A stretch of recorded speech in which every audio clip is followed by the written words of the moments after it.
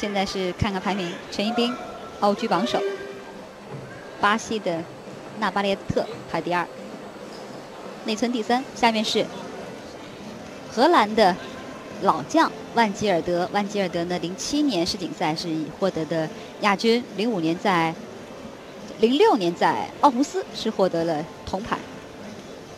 后来由于吸毒被禁赛，现在又复出了。希望能看到全新的他。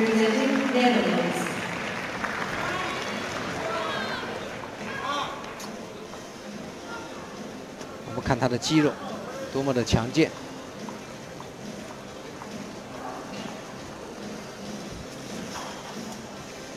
水平十字。在弹上呈水平支撑，直角十字压上层倒十字。我们看他的倒十字跟陈一冰的倒十字还是有一些距离的。前团前屈两周，再接一个水平十字，弹十字。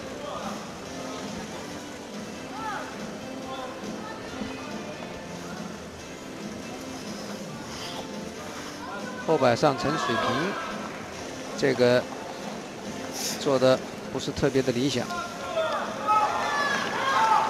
然后我们看他的下法，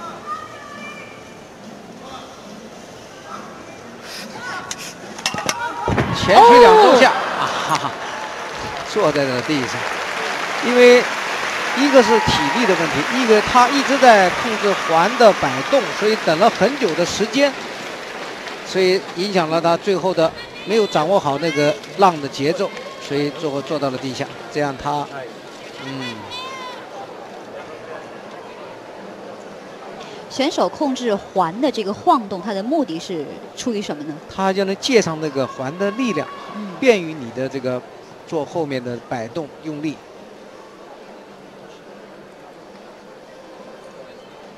呃，前面我们介绍。所以向前的空翻的落地是比较难的，所以我们一般在我们的训练中一般提倡前空翻要是两周的，都希望你再转一百八变成正面的落地，这样容易站一些。向前，因为高和低，另外还容易导致伤病。